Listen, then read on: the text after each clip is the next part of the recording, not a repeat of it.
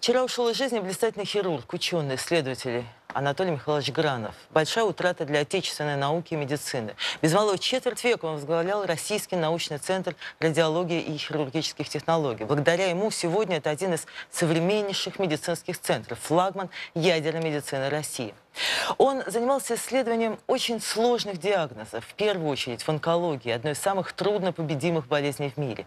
Именно работа и опыт академика Гранова много лет назад сделали Петербург центром отечественной трансплантологии. Он писал монографии, преподавал, оперировал. И когда теперь друзья вспоминают, как замечательно он играл на рояле, можно только предположить, как редки были такие минуты в его заполненных делами днях. Действительно, член Российской Академии Наук, почетный гражданин Санкт-Петербурга. У Анатолия Михайловича было много заслуженных наград, но главная награда – это, конечно, люди, которым он помогал жить.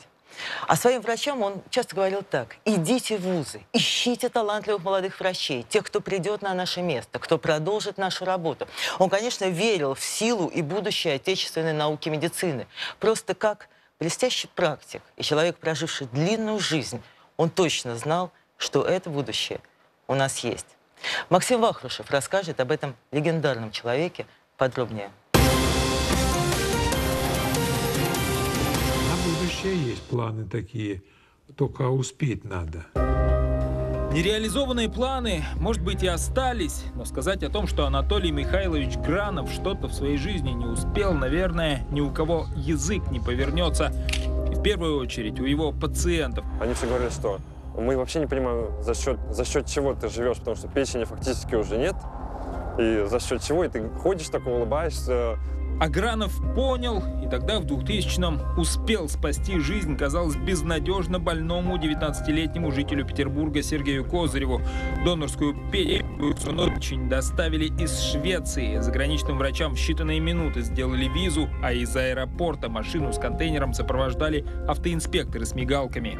Анатолий Михайлович в шутку периодически называл меня, говорит, что ты наша загадка природы. Теперь, кажется, неразрешимых загадок и задач для выпускника Донецкого медицинского института вообще не существовало. Особенно, когда смотришь на венец его научной и организационной деятельности – Российский научный центр радиологии и хирургических технологий. Кто-то называет его просто «Центр ядерной медицины». Что касается ядерной медицины, то Анатолий Михайлович, собственно говоря, и придумал этот термин. Он сформулировал название этого направления, принципы его развития. Он основоположник этого направления. Анатолий Гранов начал работу в этих стенах еще в 80-м году. Тогда здесь был Центральный научно-исследовательский рентгено-радиологический институт Минздрава СССР. Директором стал в 93-м, когда заниматься медициной и уж тем более наукой было равносильно подвигу. Счастье наше, что некоторые достижения, которые были в, в, институте к этому времени, могли быть использованы для того, чтобы институт мог зарабатывать. И он зарабатывал. И зарабатывал валюту. И за счет этой валюты институт выжил. За счет этой валюты был создан отдел реанимации и анестезиологии. Операционный блок усовершенствован. Э, в основном это технологии, которые считались передовыми технологиями при лечении рака печени. Академик Гранов и передовые технологии – это без преувеличения синонимы. Он э, сумел первым в мире э, определить важность введения контрастного вещества в так называемую портальную вену, главную вену печени. И таким образом увидеть все то, что в ней происходит – и в окружающих структурах. И это крайне важно для рака печени. И эту работу он опубликовал еще в далеком 66 году. Медики по всему миру порой даже и не подозревают, что пользуются разработками российского ученого, как, впрочем, их здоровые пациенты. На счету Анатолия Гранова 37 патентов, зарегистрированных в том числе и в США. Мы используем методику суперселективного катетеризации вот этого сосуда, который идет к опухоли, и заполняем химией на масле. Вот таких несколько процедур позволили больной рак циррозом продлить и дождаться своей печени, а для этого потребовалось 8 месяцев. Вместо того, что я говорил, два месяца, когда они умирают. Таким образом, к примеру, дождалась своей новой печени Ольга Галенова. В практике Анатолия Гранова ее случай особенный. После пересадки донорского органа девушка без проблем родила двоих детей. На протяжении почти скоро уже нам будет 10 лет. Вот, он следит за моей судьбой, за судьбой моей семьи, моих детей, всячески помогает. Врачи такой подход к работе называют «от молекулы до постели пациента». Как дела? Ну вот, все в порядке. Цирроза уже нет. Уже хорошая печень. В случае Гранова до постели пациента от атома. Совместить в работе знания в области медицины и ядерной физики под силу только поистине большому уму. Я поражаюсь, насколько вот Анатолий Михайлович глубоко понимал природу вот вообще существа этой ядерной медицины.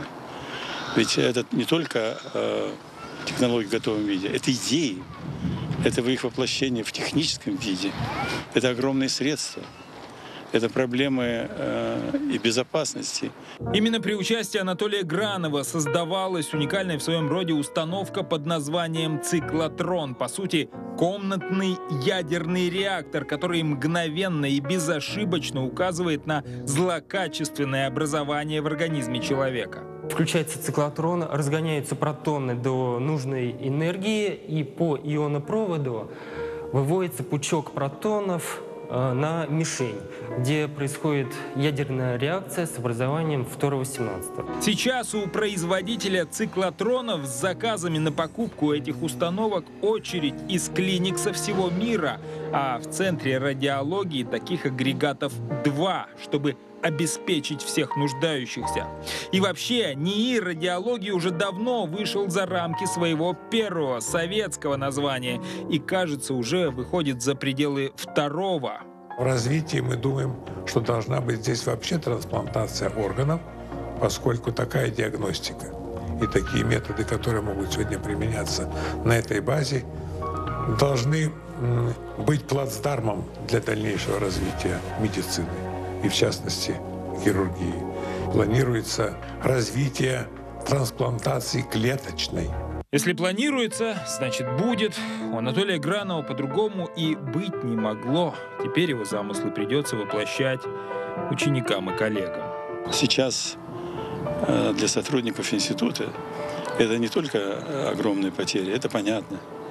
Но э, сохранить все то, что сделано Анатолием Михайловичем, и развить это дело, это задача очень непростая. Трудностей здесь не бояться, ведь это не и создавалось-то тогда, когда что-либо создать было ой как непросто, в далеком и бесконечно сложном 1918 году. И уже тогда это был новаторский, Первый в мире институт рентгена и радиологии.